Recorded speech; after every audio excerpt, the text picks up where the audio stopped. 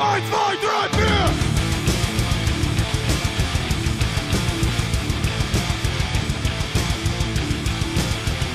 From the Rifts!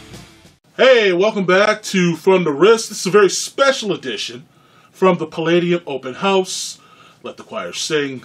And I've taken over Kevin's office to bring you guys some inside stuff. We're sitting down here with Nikki B from the Minnesota Shore, also known as, uh, Nick Bradshaw. that's right, Nick Bradshaw with his punctuating chicken. Chicken. And uh, we're going to talk about some of his art.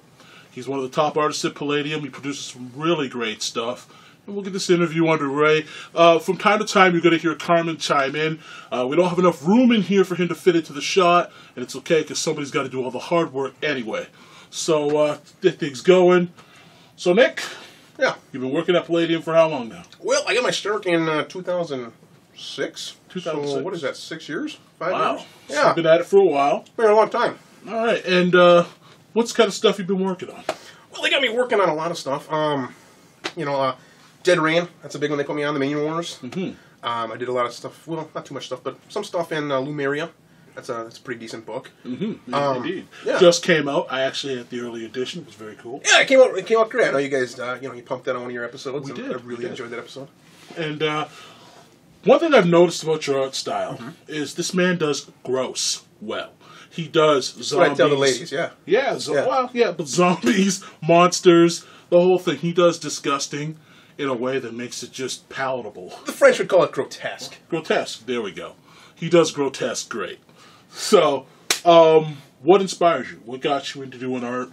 Well, I mean, a lot. Of, Yeah, obviously, you, know, you do comics when you're a kid. You watch cartoons, that kind of stuff. The stuff that was popular back in the '80s when I was a kid. You know, you had like the, you know, the Universe, Transformers, that kind of cool stuff. But uh, you know, things, music really more uh, inspires me than say like movies or TV, that kind of stuff. Uh-huh. Uh, I'll get like a song in my head, and there'll be maybe like a lyric or something. And it's just like, yeah, it's kind of cool, and I toy with that. And it's like, I mean, I'm gonna draw something that kind of you know looks like what this guy's singing about. Yeah, I hear you on that. Music can be a real motivator. So, Right. like, as a motivator, like, what kind of music are you listening to when you're coming up? Uh, you know, I listen to a lot of metal, um, a lot of punk from, know, not so much nowadays, but maybe like, you know, like early '90s, Misfits, that kind of stuff. Misfits, um, nice. Danzig, he's one of my favorites. Absolutely. Um, you know that, that kind of genre. I love, Motorhead, I love love Mother. Motorhead. Mother's a Oh, yeah. a great Who- I mean, who doesn't? And for all you artists out there, I know you're looking at me like this big black guy that listens to Danzig. You're right.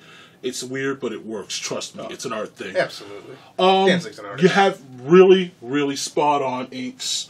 Um, we got some examples of your work right here. Um, we're going to put in some inserts, but uh, we'll get you to talk a little bit about a couple of your pieces. Okay. And uh, we'll cycle through them. I'm going to hold this one up. And we'll replace it with a picture for everybody. Where's that voice coming from? Yeah, that's Carmen. I mentioned that in the beginning, but you weren't paying attention. I was. Because you're starving. I didn't know who Carmen was. Anyway, so check it out. Uh, so this piece here, that piece there. that piece there. And, Um, that is from one of the Rifters. It's a, it's a Nightbane piece. okay. Um, the funny thing about this picture too is that the author wrote the piece, and he wrote this character when she turned into her Morphus.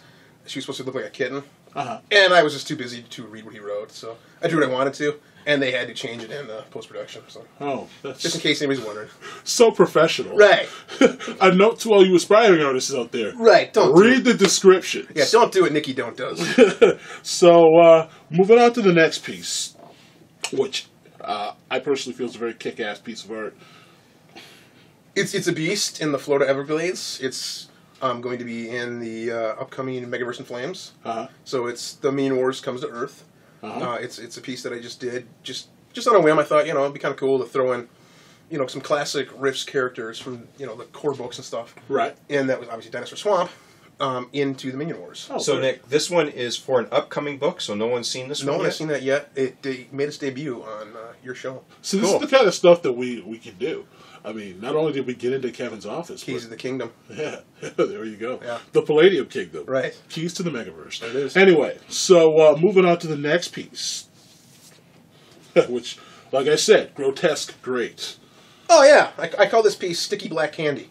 Um, it, it's from it's, it's what it's called. It's from the the new uh, uh, Dead Reign book, Endless Dead. Uh huh. Um, it was one of these deals where a lot of the times with this, I'm, I'm given a lot of freedom, and I'm, I'm extremely thankful for that. So I, I thought, you know, why not just draw a picture, and it just kind of started, and that's where it ended. Okay. So It's it's really nice because he's got like uh, a sexy broad, and he's got well, it's got A that, that sexy broad. it's got that Kind like, of sums up my life, man. it, it's got that sex appeal mixed with that horror. You know, it, it's just a nice It- it's, clash. that's what good, that's what good horror is all about. Yeah, you know, you want to have some comedy, clash. you want to have some grossness, you want to have some sexiness, and if you can put it all together, and you know, that's what I try to do. Yeah, very much so. All right, we're going to move like on it. to another piece here, which is uh, one of my personal faves. Yeah. So you know, uh, um, this is this is kind of a cool piece here.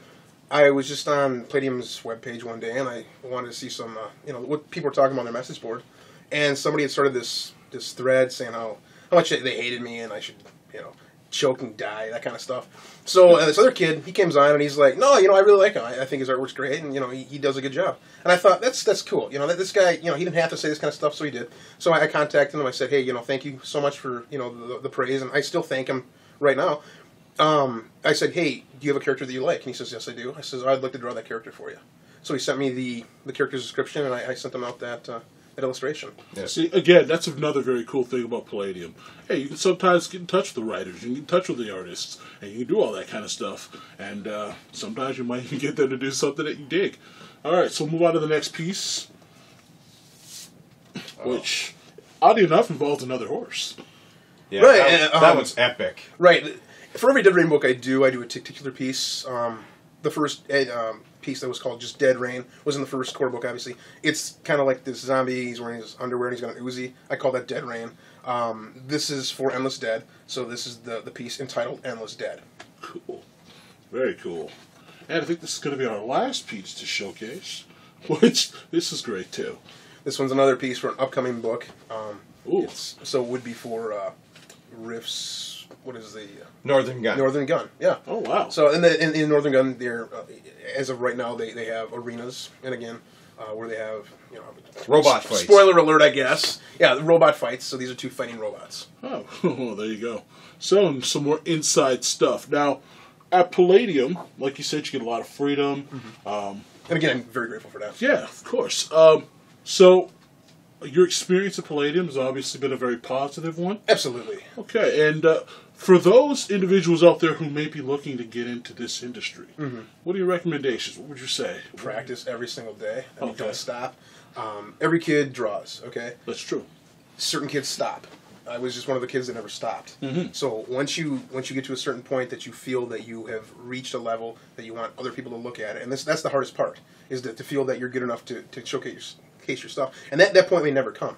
So you you need to just you know bite the bullet and just send your stuff out. And if it gets rejected, it gets rejected. Big deal. Go back and send some more stuff. You keep sending stuff until you get good enough that it doesn't get rejected. That's right. Yeah, very cool. Yeah. All right. Um, and on a final note, why don't you let us know what have you like? What do you like to work with? I mean, you tend to do black and white. Yeah, I'm a straight up like old school, just like pen and ink kind of guy. I mean, a lot of new, a lot of cats now that you know they're doing computer digital work, and that's great for them, but not for me. I have to feel my artwork. You know, Right. it's it, then that's what it is to me. It's it's not you know it, it is a job, but for me, it's one of those things where if you can you know do what you love doing for a living, you don't ever work a day in your life. Mm-hmm. So I mean, that's what my artwork is. It's, it's like a it's an extension of my my personality. It's an extension of my, my, my what I'm thinking at that time. So it's it's It's uh, very personal, It's yet I'm willing to and part with it. Absolutely. So, what's your uh, what's your working um, schedule like when you work on it? Do you do them spur of the moment, or do you you know sit down and go, okay, at eight o'clock I want to sit down? No, I'm not. I'm not that regimented. I'm, I'm kind of like a road warrior artist, you know, where it's like I just take it with me. You know, you, you're just constantly chipping away at it until it's finished. Okay, I don't have a studio. I just, you know, where where I lay my hat, that's home. You know. So you pick it up, and any time you're able to just sit and go. Yeah, anywhere, anywhere. You know, what's appropriate? I mean, I guess you're drawing a demon in church or something. People are like, what's this guy's problem? you know, if you're at Taco Bell at two in the morning, who the hell cares? Yeah. Well, it's it's nice the fact that you do do pen and ink and that you're old school because it does mean you can you know stop at stop at Taco Bell and have a sandwich and draw a cool picture. Right. You know, you're waiting on the bus or something Yeah. like that. Sure. Where these guys that are tied to a computer just can't do that. I mean, they're, they're getting, you know, they can, they, they've got machinery and stuff that you can do that nowadays too. But yeah, I'm not going to drop, you know, 20 grand, you know, it doesn't cost that, but you know, it, yeah, I'm just, again, I, I, I like Well, to feel my work, you know, it's, it's I, you know, I'm an old school. me, man. I'm an old school guy myself. Yeah, absolutely. I feel you. Um, so you know, what this smells like smells like a sketch session coming on later. I'm on. digging it, man. All right, we might have to film that too. Mm-hmm. So, I think we pretty much covered what we're going to cover in this one. Um, man, Nikki B, good to have you, Mr. Bradshaw. Thanks for having me. And uh, maybe we'll get a little sketch session and film that too. From the Rifts, it's Big Will Johnson, Carmen Blair. the voice gaming god. Hey, Bradshaw. All right, we'll see you guys later. Ciao.